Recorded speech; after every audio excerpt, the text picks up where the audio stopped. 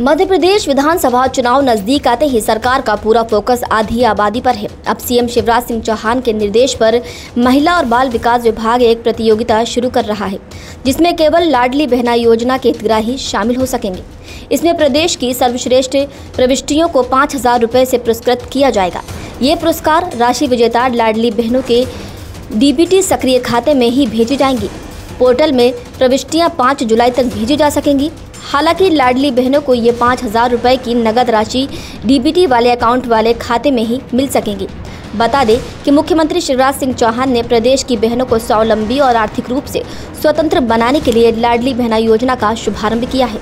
इस योजना के तहत 10 जून को प्रदेश की एक करोड़ 25 लाख बहनों के खातों में 1209 करोड़ चौंसठ लाख रुपए की राशि भेजी जा चुकी है।